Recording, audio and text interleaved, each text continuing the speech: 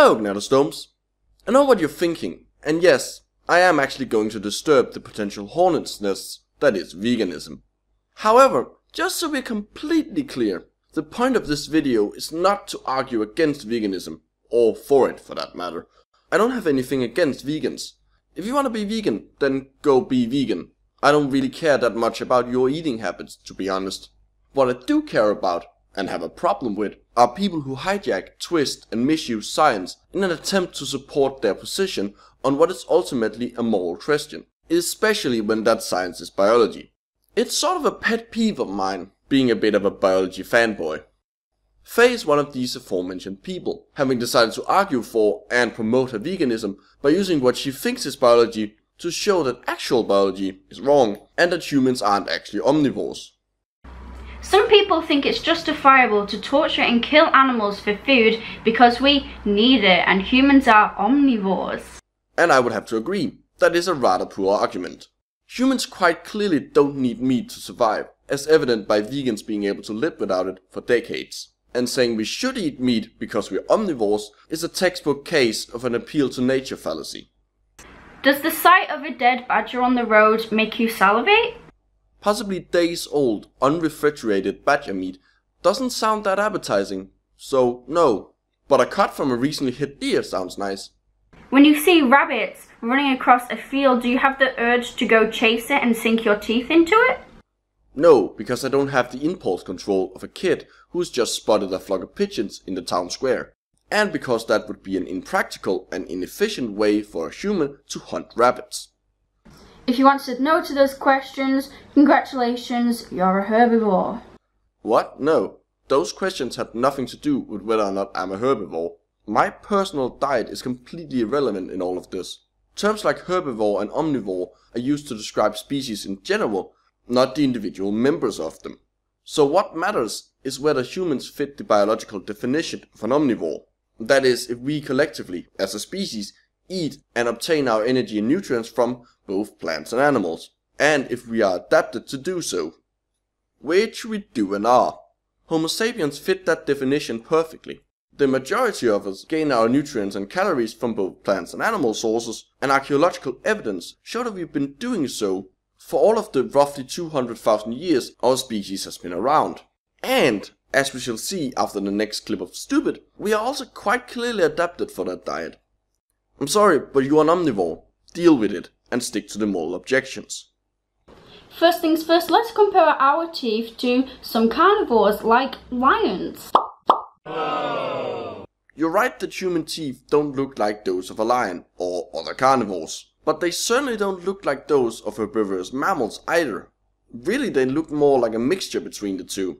Which, if you think about it, is exactly the kind of evolutionary compromise you would expect in an animal that needs to be able to handle both types of food. It's also what we find in other mammalian omnivores. You would be surprised how easy it is to mistake pig and human molars. Comparing the anatomy and physiology of animals like this is an actual field within biology, appropriately called comparative anatomy. And while you're not doing it wrong per se, you are doing it poorly. You see, diets aren't anatomical traits. Sure, they are reflected in the anatomy, because evolution, but it's not like there's a single shared adaptation among all omnivores, just general tendencies. And often these tendencies are limited to the members of a specific evolutionary clade. There's no such thing as an anatomical omnivore, herbivore, or carnivore. Life is just too damn diverse for that to be possible for such broad terms. In other words, if you want to do comparisons like this, you have to look for and at these general tendencies. For example, the tendency towards intermediate features isn't just found in the dental department. Omnivory is the diet of a generalist. Carnivores and herbivores are specialists, adapted for a particular but also much narrower diet. Leaves are a lot harder to digest than meat, so herbivores tend to have longer and more complex digestive systems. Mammalian herbivores almost all have either a rumen or a hindgut, which are essentially fermentation vats. They harbor special microbes able to digest the cellulose that make up plant cell walls and to convert certain plant compounds into things like vitamins. Humans have the digestive system of an omnivore, with both medium length and complexity. We lack a fermentation chamber, which not only makes us unable to digest cellulose, but also unable to obtain vitamin B12 from botanical sources. Vitamin B12 is a class of large cobalt containing compounds. Not getting enough of them eventually leads to anemia and neurological problems. And by neurological problems, I mean permanent brain damage, permanent brain damage, brain damage, brain damage. Until recently, there were no non-animal derived sources for them. To get them, vegans have to rely on supplements and fortified foods. If that alone doesn't make it pretty damn obvious that we are omnivores, I don't know what does. If you managed to chase and catch a rabbit, do you think you'd be able to kill it using just your teeth? I didn't fucking think so. Okay, fair enough. How does me not doing that make me a herbivore? And why would I do that when I have two perfectly good hands to kill it with? Speaking of hands, our nails also are very short and weak compared to a carnivore's sharp claws. Yes, instead we have sensitive fingertips, opposable thumbs, high dexterity and intelligence, which allows us to create and use tools. We make our own claws. In fact, the bones in our hands are uniquely adapted for tool use. Seriously, go look up the styloid process of the third metacarpal. Tool use makes us highly adaptable and versatile. We are basically the evolutionary equivalent of Swiss army knives, all of which fits rather nicely with the tendencies for omnivores to be generalists. The fact that we don't live up to your expectations of what a predator is and should look like doesn't mean we aren't one. It's like you think omnivores are just carnivores that just happen to also eat plants. Humans don't pant when we're hot, instead we perspire through skin pores like every other herbivore. That's a load of idiot dribble for a good number of reasons. Let's see how many we can count. 1. How a species thermoregulates has practically fuck all to do with its diet. Two traits being found within a group doesn't necessarily mean they're connected in any other way. 2. Even if the two did have anything to do with each other, diet is still ultimately defined by what you eat, not how you get rid of heat. 3. Most herbivores don't thermoregulate by sweating, because most of them can't. Sweat glands is a uniquely mammalian trait, and most animals, let alone herbivores, aren't mammals. 4. Same thing goes for carnivores and panting. Most don't, because most of them simply aren't physically able to. 5. Cows don't sweat when it's hot. In fact, most mammals don't sweat to cool down. The only two groups of mammals that really do that are horses and primates. And 6. Plenty of non-human primates are omnivores, so clearly perspiration playing a major role in thermoregulation isn't limited to herbivores. A whole 6 pieces of stupid in that short of a clip. Can you excuse me for a moment? Thanks. If we were meant to eat animals, if we were meant to eat meat, why is it making us sick and killing us? Uh, it's not. Carnivores in the wild never suffer from heart disease, cancer, diabetes, or obesity like humans do. Okay, now you're just spouting stupid. Wild carnivores suffer from all of those ailments too, as do omnivores, herbivores, and just about any species with the necessary physiology. Yes, humans have higher rates of them to varying degrees, but that has less to do with us eating meat and a whole lot more to do with the amount of food of any kind that some of us stuff in our faces. A high caloric intake is a well established risk factor for all of the things you mentioned. And in the case of cancer and heart disease, so is getting old. Something which we have gotten really really good at over the past few centuries.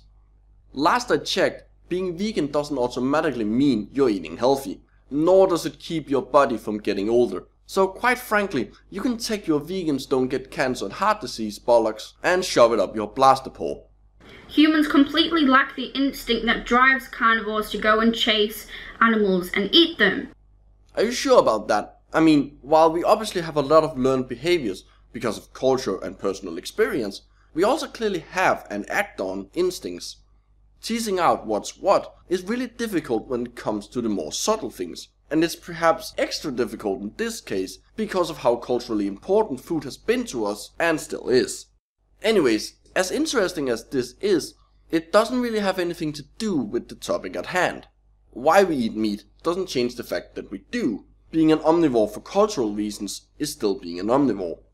My cat Elvis, for example, sometimes brings uh, dead birds or dead mice into the house, And you know, as gross as it is, that's what he's meant to do. But if a human, if a human brought a dead mouse or a dead bird to my house, I'd call the fucking police.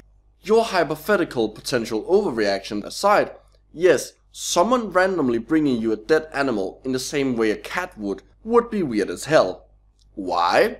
Because that's not normal human behavior. What exactly does this have to do with humans not being omnivores again? Humans squirm and get uncomfortable when I show them slaughterhouse footage. Yeah, because the people you're showing it to likely have pretty comfortable lives and jobs in office buildings. Most people in our European neck of the woods aren't used to seeing death or killing their own food anymore. Their reaction has nothing to do with whether or not their species is omnivorous. Them still going home and having dead chicken for dinner does. Yet a lion couldn't give two fucks when it's gorging into a gazelle's body and rips all its guts out. You're right, humans aren't lions. I think you have successfully proven that groundbreaking observation by now. And my answer is still so what?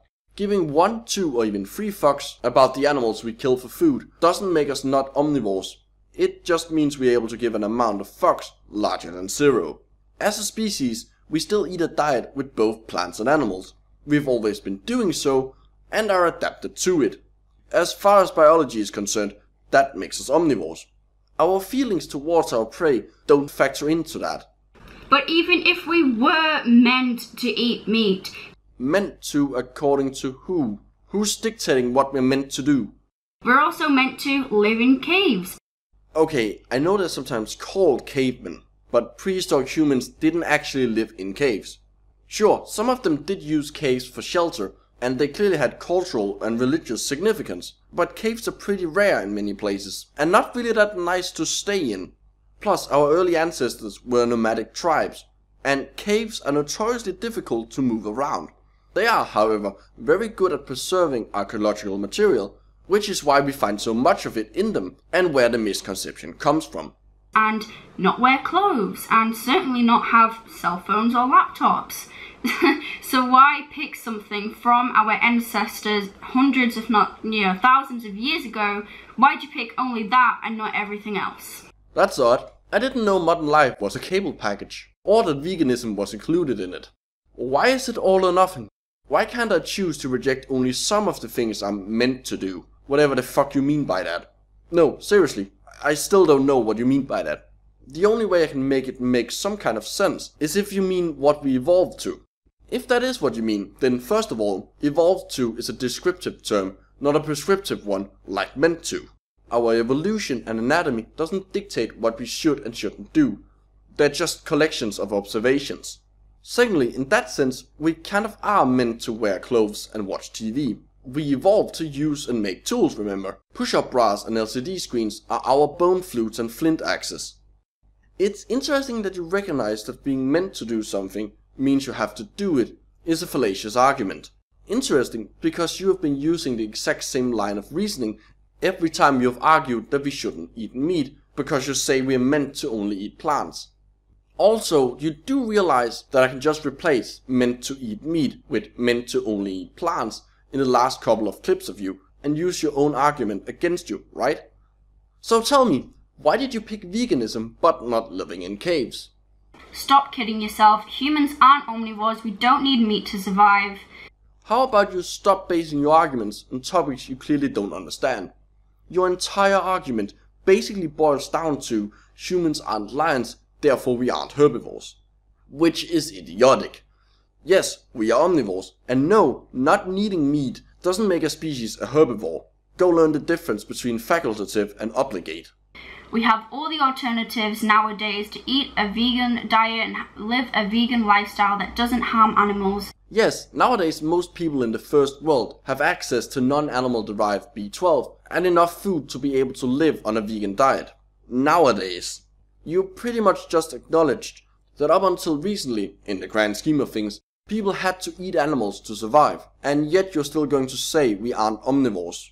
Does that honestly make sense to you? So why don't you? Because I quite like the taste of meat, and I don't find it morally wrong that animals have to die for me to get it. That's it. That's what this whole question of eating or not eating animal products is ultimately about. morality. Biology, by its very nature of being a science, is purely descriptive, not prescriptive. Using it as the sole basis for an argument in favor of a moral position just makes you look dumb. And in case you hadn't noticed, people tend to take you less seriously when you get simple things completely wrong. If you want more people to listen to your moral objections against eating animal products, then stop spouting stupid and misusing science that you don't understand and stick to making and explaining those objections. And on that word of advice, I'm going to go reheat my homemade cheeseburger. Thanks for watching. Bye.